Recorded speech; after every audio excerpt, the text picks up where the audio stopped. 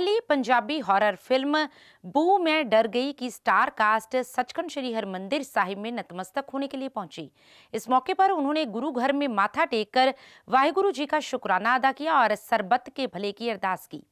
इस अवसर पर मीडिया से बातचीत करते हुए फ़िल्म के कलाकार रोशन प्रिंस, योगराज सिंह, अनीता देवगन और निशा बानो ने बताया कि उनकी नई पंजाबी हॉरर मूवी एक मार्च को सिनेमाघरों में रिलीज़ होने जा रही है, जिसकी चढ़ती कला के लिए वे अरदास करने के लिए गुरु घर में पहुँचे हैं। उन्होंने कहा कि अधिकतर इस फ़िल्म की शूटिंग पंजाब के मोहाली में हुई है, जिसके चलते वे गुरु घर में माथा टेकने के लिए पहुँचे हैं। यहाँ आकर उनके मन को बहुत सुकून और शांति मिली है।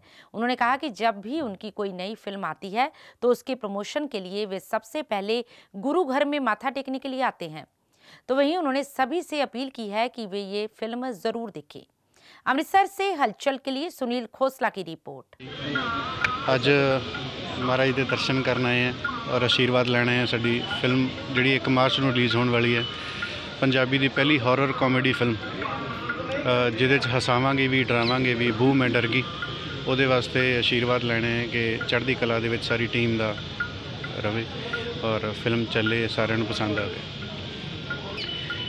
ਇਹੀ ਹੈ ਜੀ ਕਿ ਮਾਲਕ ਸਭ ਨੂੰ ਚੜ੍ਹਦੀ ਕਲਾ ਦੇ ਵਿੱਚ ਰੱਖਣ ਔਰ ਜੋ ਵੀ ਆ ਮੰਗਾਂ ਸਾਡੀਆਂ ਸਰਕਾਰ ਵਾਸਤੇ, ਸਰਕਾਰ ਲਈ ਔਰ ਸਾਡੀਆਂ ਸਾਰੀਆਂ ਪੂਰੀਆਂ ਹੋਣ ਤੇ ਜਲਦੀ ਤੋਂ ਜਲਦੀ ਇਹ ਸੰਘਰਸ਼ ਖਤਮ ਹੋਵੇ ਔਰ ਸਾਰੇ ਸੁਖੀ ਸਖੀ ਆਪੋ ਆਪਣੇ ਘਰਾਂ ਨੂੰ ਜਾਣ ਇਹਦੇ ਵਿੱਚ ਮੈਨੂੰ ਵੀ ਬੜਾ ਮਜ਼ਾ ਆਇਆ ਰੋਲ ਕਰਕੇ ਥੋੜਾ ਹੈ ਤਾਂ ਕਾਮੇਡੀ ਹੈ।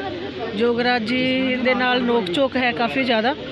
ਔਰ ਫਿਰ ਭੂਤਾਂ ਜਿਹਾਂ ਦਾ ਵੀ ਸਿਲਸਿਲਾ ਸ਼ੁਰੂ ਹੋ ਜਾਂਦਾ। ਇੱਕ ਜੰਗਲ 'ਚ ਵੀ ਅਸੀਂ ਫਸ ਜਾਂਦੇ ਆ ਸਾਨੂੰ ਰਾਹ ਰਸਤੇ ਨਹੀਂ ਲੱਭਦੇ ਤੇ ਉਹ ਬੜੀਆਂ ਚੀਜ਼ਾਂ ਨੇ, ਜਿਹੜੀਆਂ ਮਜ਼ੇਦਾਰ ਨੇ। ਅਸੀਂ ਕੰਮ ਕਰਦੇ ਕਰਦਿਆਂ ਬੜਾ ਇੰਜੋਏ ਕੀਤਾ ਤੇ ਮੈਨੂੰ ਲੱਗਦਾ ਹੈ ਕਿ ਤੁਸੀਂ ਵੀ ਸਾਰੇ ਜਣੇ ਬਹੁਤ ਪਸੰਦ ਕਰੋਗੇ। ਬਿਲਕੁਲ ਜੀ, ਦੇਖੋ ਆਲਵੇਜ਼ ਜਦੋਂ ਵੀ ਕੋਈ ਫਿਲਮ ਆਉਂਦੀ ਹੈ ਜਾਂ ਸਾਡਾ ਕੋਈ ਵੀ ਚੰਗਾ ਕੰਮ ਹੁੰਦਾ, ਅਸੀਂ ਇੱਥੇ ਆ ਕੇ ਮੱਥਾ ਟੇਕਦੇ ਆ ਬਾਬਾ ਜੀ ਦੇ ਦਰਬਾਰ ਦੇ ਵਿੱਚ ਹਮੇਸ਼ਾ ਹਾਜ਼ਰੀ ਲਵਾਉਣੇ ਆ ਹਨਾ?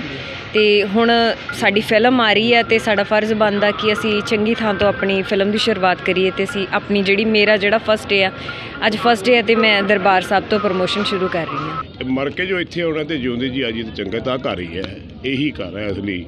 ਜਿਹੜਾ ਤੁਸੀਂ ਸਵਾਲ ਪੁੱਛਿਆ, ਇਹੀ ਬਾਪੂ ਨੇ, ਇਹੀ ਵੱਡ ਵਡੇਰੇ ਨੇ।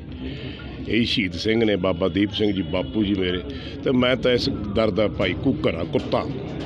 ਤੇ ਇੰਨੀ ਕੁ ਜੋਗਾ ਬਸ ਰੱਬ ਮੈਨੂੰ ਬਣਾ ਦੇਵੇ ਵੀ ਜੇ ਮਰਾਂ ਤਾਂ ਤੇਰੇ ਚਰਨਾਂ ਚ ਆ ਜਾ ਬਸ ਇੰਨੀ ਕਿਰਪਾ ਹੁਕਮ ਕਰੋ। ਯੋਗਰਾਜ ਜੀ ਇਹ ਪਿਕਚਰ ਪਹਿਲਾਂ ਤਾਂ ਬਾਈ ਜੀ ਗੁਰੂ ਮਹਾਰਾਜ ਦੀ ਬੜੀ ਕਿਰਪਾ ਹੈ ਕਿ ਪੰਜਾਬੀਅਤ ਦੀ ਸੇਵਾ ਕਰਨ ਦਾ ਮੌਕਾ ਮਿਲਿਆ।